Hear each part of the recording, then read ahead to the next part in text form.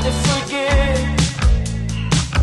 I spend the night alone, clear text from my phone, but hope you call me